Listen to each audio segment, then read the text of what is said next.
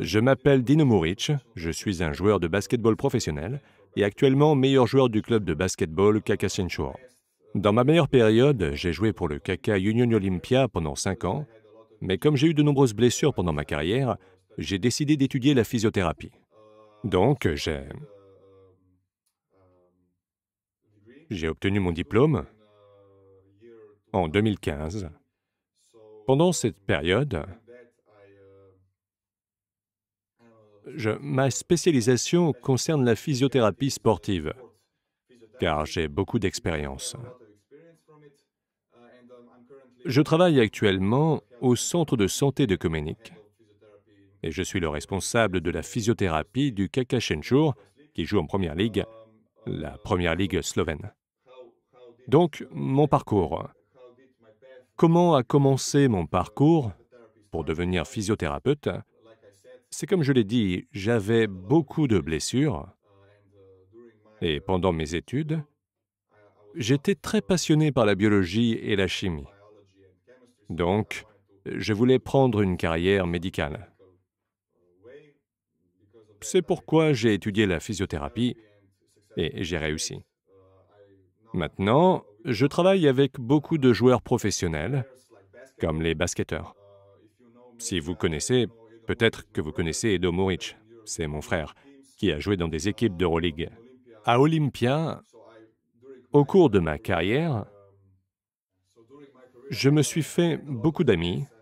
Je me suis fait des amis parmi les basketteurs et les sportifs. Et nous sommes toujours en contact. Ensuite, à cause de mes blessures, j'étais absent pendant deux ans car j'avais des problèmes de cartilage au genou. Donc, pendant cette période, comme je l'ai dit, j'ai étudié la physiothérapie et j'ai commencé à construire ma deuxième carrière. Ainsi, lorsque j'ai commencé ma carrière de physiothérapeute, je savais, ou plutôt j'ai réalisé que les techniques manuelles, ou les mains de toute façon, avec les patients ne sont pas parfois suffisantes. Nous devons disposer de dispositifs médicaux qui aident les cellules, qui aident les tissus ou les muscles à se régénérer. Je cherchais donc ce genre de dispositifs médicaux. Et pendant que je cherchais, des collègues physiothérapeutes m'ont recommandé le docteur Andrei Schwendt. Je l'ai appelé et nous nous sommes rencontrés. Il m'a présenté ce très bon appareil et j'ai été très heureux de l'avoir trouvé parce qu'il a beaucoup de connaissances et il travaille avec Indiba.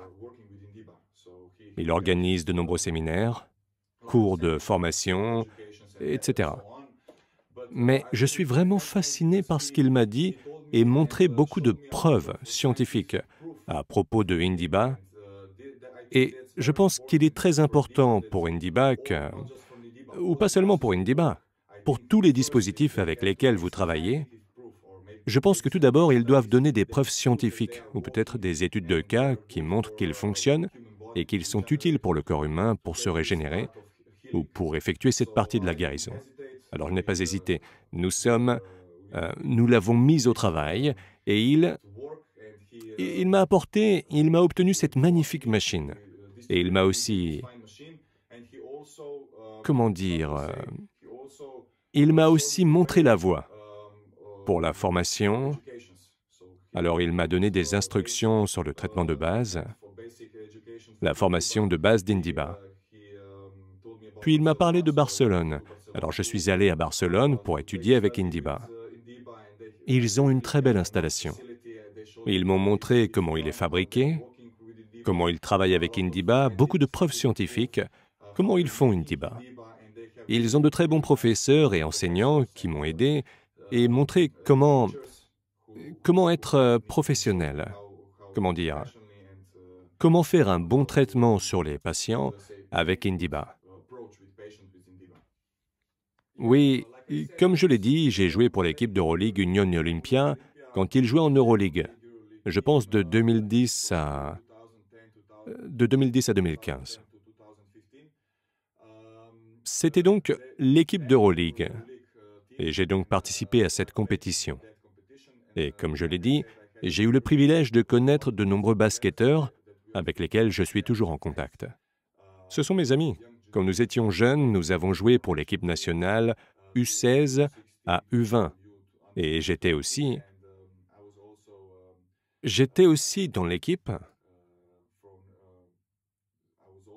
pour le championnat Turquie 2010 avec Zoran Dragic. Mais à l'époque, nous n'étions pas encore grands, car nous étions jeunes. Puis, depuis, j'ai eu beaucoup de blessures et des problèmes de genoux. Comme je l'ai dit, j'ai étudié la physiothérapie, mais avec ces joueurs, je suis toujours en contact. Donc, comme je l'ai mentionné, j'ai joué pendant cinq ans pour l'Union Olympia, qui était alors une équipe d'Euroleague, et j'ai eu le privilège de, rencontrer de nombreux amis avec lesquels nous sommes toujours en contact. Alors quand j'étais jeune, nous avons aussi joué beaucoup de compétitions ensemble. Actuellement, je joue pour le Kaka Shenchur, comme tu l'as dit, André. Je suis MVP et je suis honoré de pouvoir aider mon équipe, mais mettons cela de côté. Ce que j'allais dire, c'est que nous sommes toujours en contact.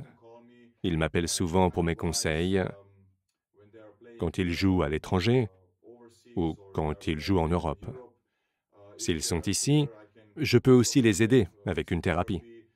Au Kakashenshur, où je suis responsable de la physiothérapie, je suis aussi en contact avec les basketteurs avec lesquels j'ai joué. Donc c'est un autre avantage pour moi.